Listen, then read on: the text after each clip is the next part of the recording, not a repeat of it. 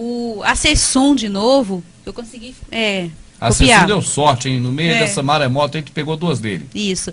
É, ele quer saber quando e como foi o despertar, foi o seu despertar para a verdade do Salvador sobre o sistema religioso. Tá bom.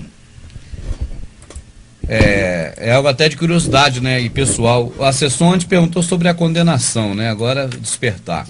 O, o, o, o, a, a Sessum, eu, eu conheci muitas boas pessoas que são pastores, entende? Inclusive o último pastor que eu estive na denominação dele é uma excelente pessoa. Sabe? Excelente pessoa. Eu o amo muito, gosto muito dele, eu sou amigo dele, entende? Eu nunca mais o vi, mas eu, as lembranças que eu tenho dele são só boas, porque como pessoa é excelente pessoa. E antes dele também, eu tive outro pastor, Anildo, que já faleceu, que é uma pessoa maravilhosa. Eu não encontrei maus pastores pela minha frente. Você acredita em mim? Eu não encontrei. Eu tive o pastor Lino na Igreja Batista, que foi onde eu fui visitar, e lá eu adentrei ao protestantismo, com o termo popular aceitei Jesus, né, o Jesus Mitra, porque não era o meu salvador. Eu não praticava nada que meu salvador pedia. Eu praticava as coisas que nego pratica para Mitra, comendo, bebendo suco. Mas o pastor, como pessoa, era muito boa pessoa. Ele tinha um trabalho social de dar remédio para as pessoas, de graça mesmo, remédio de, de homeopatia, sabe? Era uma pessoa amorosa. Então, fora mesmo do sistema religioso assim, era boa pessoa.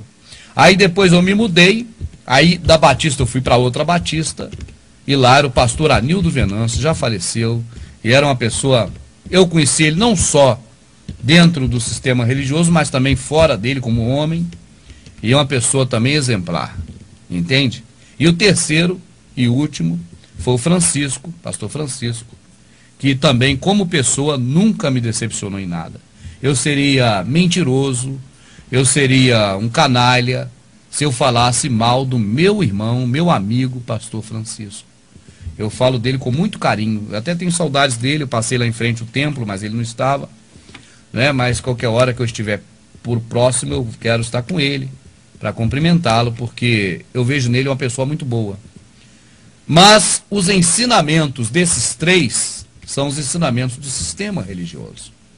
E por quê?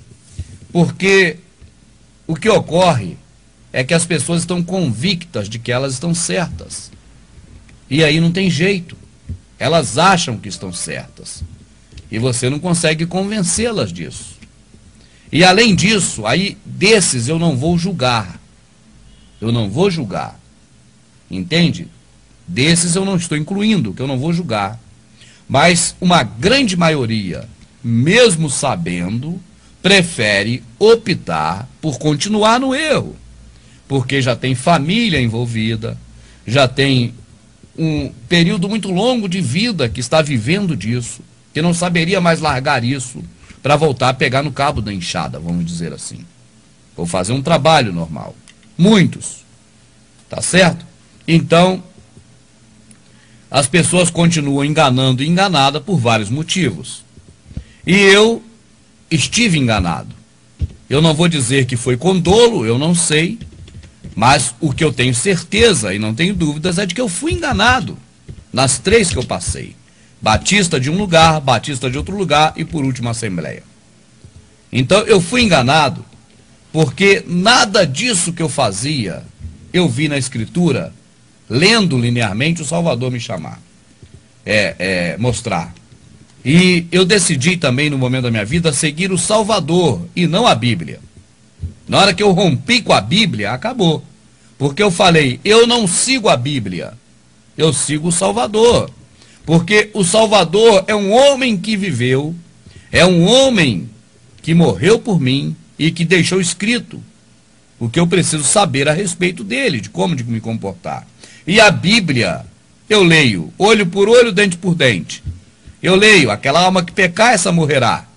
Eu leio é, é, com quem, quem com ferro fere, com ferro será ferido.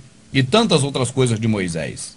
E eu penso, é bíblico. Se eu for seguir a Bíblia, eu vou matar quem matou. Eu vou arrancar o olho de quem arrancou. Eu vou revidar. Mas eu ve, e eu vejo Davi dizendo: prepara uma mesa na minha presença perante os meus inimigos. E eu vejo o Salvador dizendo que a gente não deve ter inimigos, deve até reconciliar com quem é inimigo. Assim eu penso: se eu seguir a Bíblia, eu vou entrar numa hora num parafuso, porque eu vou ficar numa encruzilhada, onde o Salvador me manda uma coisa e Davi, Salomão, qualquer outro aí, Moisés me manda outra. Assim eu decidi seguir o Salvador. E eu sigo, procuro seguir o Salvador. Mas como é que foi despertar para seguir o Salvador? Eu vou dizer. Nós nascemos debaixo da matrix do sistema religioso, que é também uma matrix componente da matrix mor, que contempla todo o sistema do mundo. Beleza? Assim, eu sempre pensei que os evangélicos estavam mais próximos de Deus. Deus. E aí um dia eu achei que eu deveria também estar mais próximo de Deus. E como eu vou estar mais próximo de Deus, eu vou me associar aos evangélicos, porque eles falam muito em Deus. Anda com a Bíblia debaixo do braço. Então é um povo que é o povo de Deus. Essa é a visão normal de qualquer cidadão com relação ao protestantismo.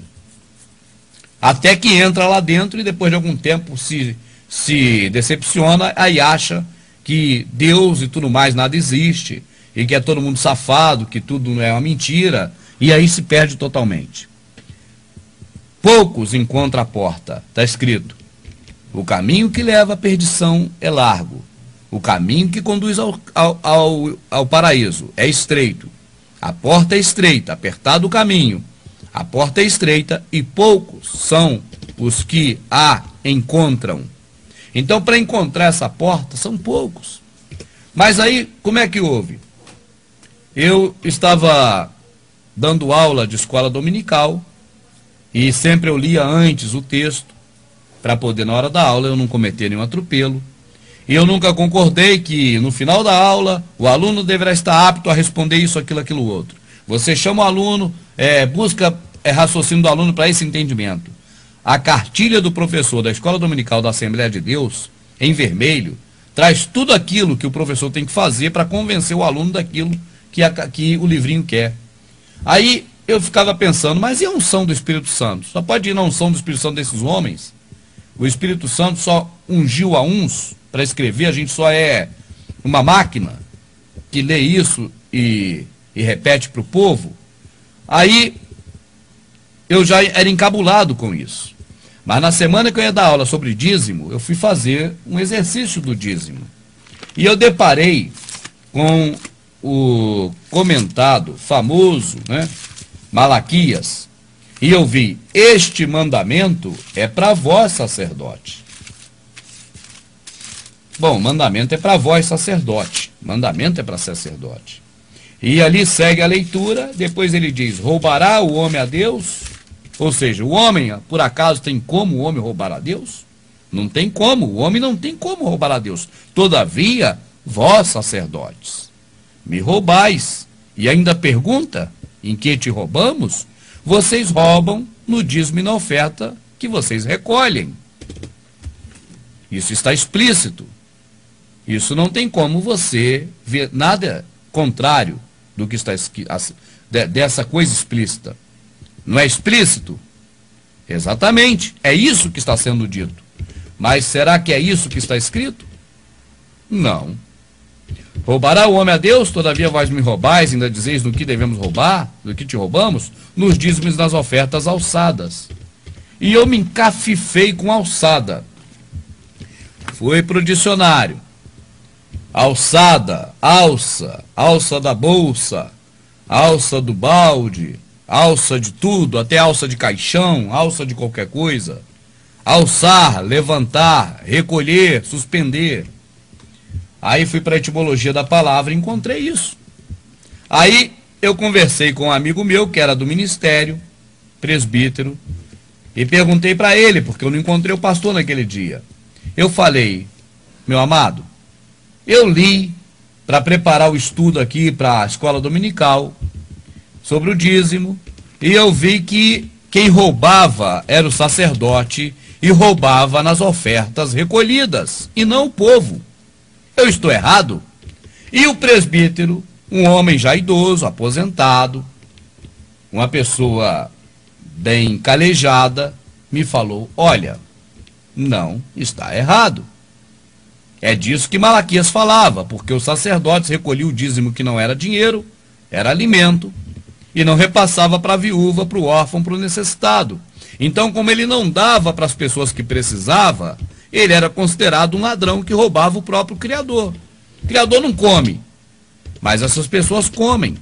Então, quando o sacerdote deixava de repassar, na verdade, ele estava roubando a Deus.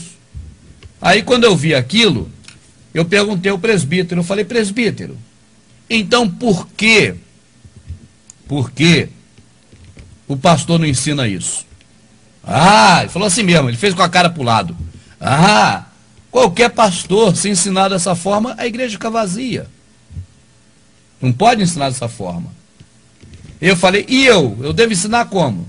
Ele falou, aí você vai ter que escolher. Se você quiser continuar dando aula na escola dominical, e tudo mais, vai ter que ensinar do jeito que está no livrinho da escola dominical. Aí eu falei, tá bom, então não vou escolher esse não. Aí fui depois achei o pastor, até porque ele foi na minha casa. Lá na minha casa eu perguntei a ele. Mesma coisa. Falei, pastor, e ainda vi mais depois, porque pela lei, aí eu fui fazer uma devassa, né? Para procurar tudo, igual uma sindicância, igual aquele negócio que abre no Congresso, uma CPI, Aí eu falei, pastor, só os levitas têm direito de tomar o dízimo. Pô, o senhor é levita? Aí ele, é. Aí eu falei, pastor, dízimo foi dinheiro algum dia na Bíblia? É.